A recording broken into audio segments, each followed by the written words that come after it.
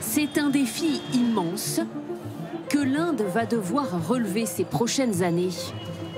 Parvenir à nourrir une population qui ne cesse d'augmenter et qui compte déjà plus d'un milliard 400 millions d'individus.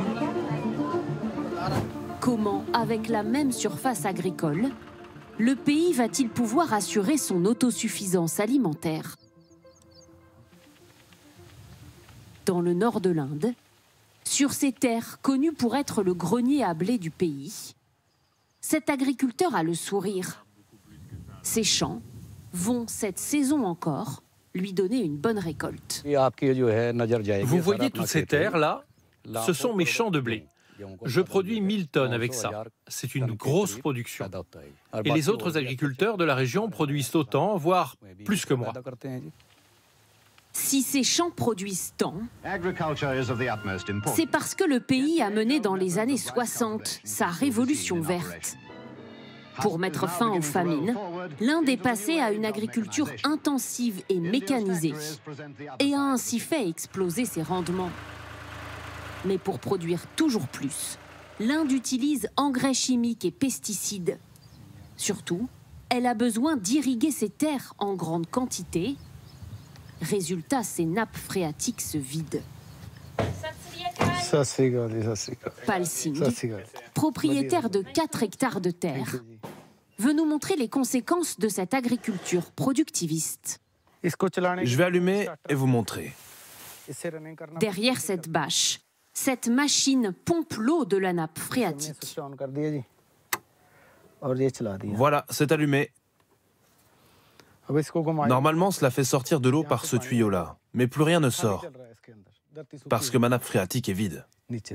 Seule solution pour cet agriculteur, pomper encore plus profond. Pour nourrir le pays, on a vidé nos réserves d'eau.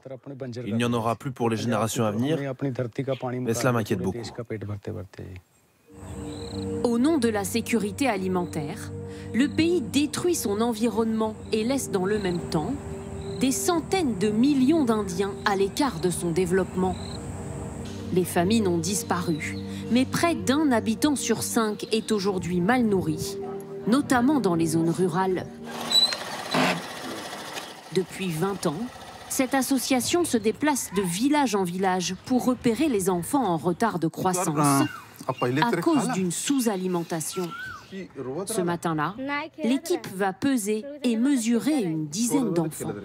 Et ce qu'elle constate, c'est que beaucoup, comme ce petit garçon, ne mangent pas suffisamment.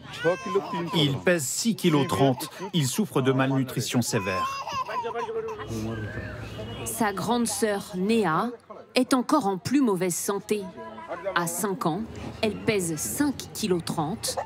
Elle devrait en faire 18.